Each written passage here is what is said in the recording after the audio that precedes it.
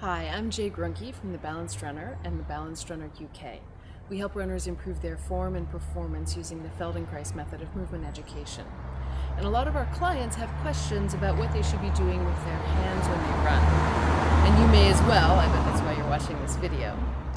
And the true answer is that any any sense of tension or problem that you have with your hands when you run or confusion is probably a reflection of mechanics that are not quite right in your torso because if your shoulders your upper body your core muscles and your pelvis are moving properly when you run usually the hands uh, don't have any excess tension and are well positioned however um, it still helps to know what you should be doing. And if you take the wrong advice, you can actually use your hands to throw off your core. So let's look at what the hands really should be doing when you run. The answer is this a soft fist. You may have read that your hands should be in a soft fist. That's right. I can see through the hole in my hand, it's not clenched.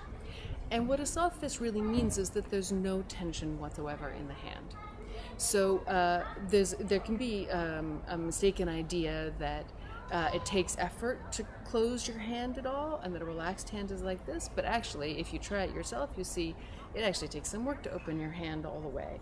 A completely relaxed hand with a wrist in a neutral alignment uh, is softly curled, and not only the fingers but from the palm, in fact and sometimes even just knowing that your palm and not your finger just only your fingers are involved in this can also help you find the the um, easy well coordinated way to use your hand of course we care whether it's right but you uh, if you get it right by faking it and putting your body into a position it's not the same as having it be right because it results from healthy mechanics through your whole body but in any case so uh, when the, I said when the wrist is in a neutral position, the hand softly curls.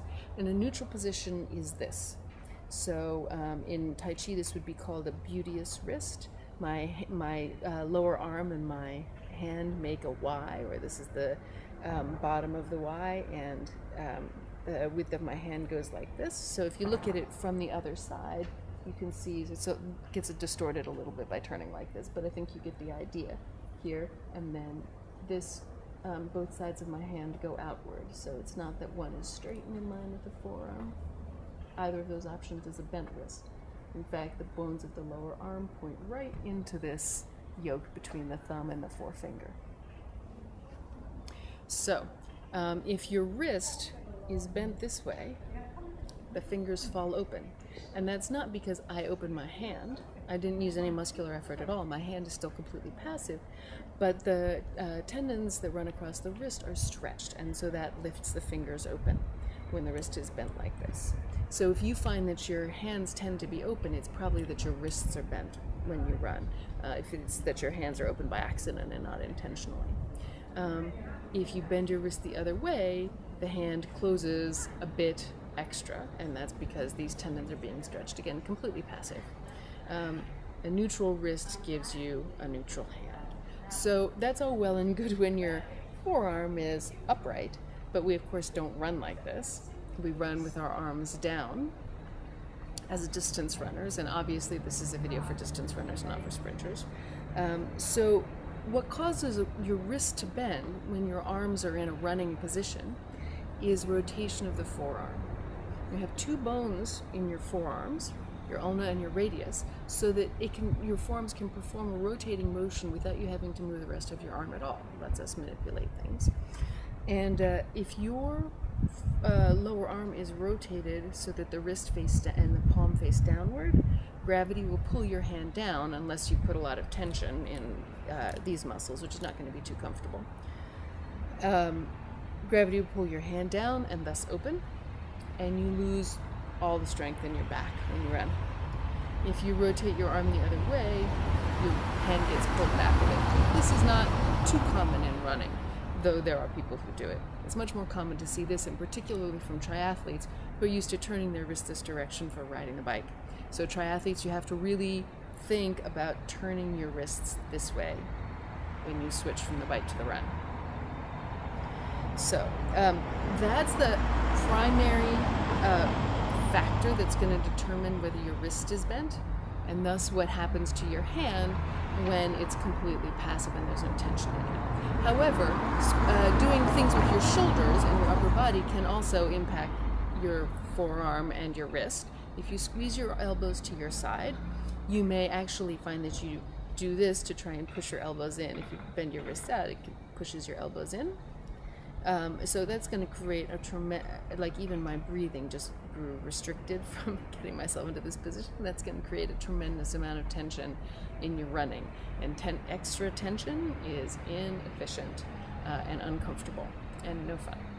Uh, if you bend your wrists like this, sometimes people do this uh, all and also squeeze their arms in, or sometimes like this, then it pushes the elbows out, which is what it would tend to do if you don't make the extra effort to then do this.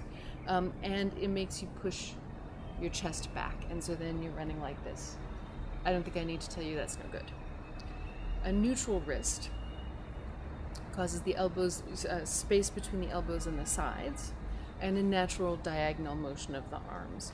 And if you would like to learn more about that, please look at our other videos on our YouTube channel where I explain this more fully. Uh, so those are the basics. Now the main benefits of having a, a, neutral wrist alignment and a soft fist when you run are that it makes your arm a shorter pendulum, which makes it lighter, easier, and faster to swing. And uh, so uh, sprinters do this because the wind resistance of a soft fist is too costly at the speeds that they're running. But at distance running speeds or recreational running speeds, the effort of holding your hand open is too costly for you to sustain the distance that you're that you're intending to run. And so this is the right choice. Um, so a shorter pendulum is more efficient running. And so even trying to open your hands a little bit, that's going to really cost you, especially over marathon distance. Um, again, because opening your hand or clenching your fist or bending your wrists uh, requires you to tense extra muscles and impacts the mechanics of your upper body and thus core and pelvis and legs. Um, your running will be less healthy and less efficient and less enjoyable. So it's really quite a large issue. And hopefully tip, these tips are enough to help you begin to get a handle on it, um, so to speak. But uh, reach out to us if you need more help than this. It probably is the case that you have other movement habits that are putting your arms, your shoulders, your wrists in a position where you have excess tension in your hands. So, uh, there's plenty more information on our websites, balancedrunner.com and balancedrunner.co.uk. There's a ton of information I regularly post on Facebook at The Balanced Runner, so please like us there and follow me on Twitter at Jae Gruenke, and all of that information is in the video details below. And of course, please watch the rest of our videos on our YouTube channel, and don't forget to subscribe.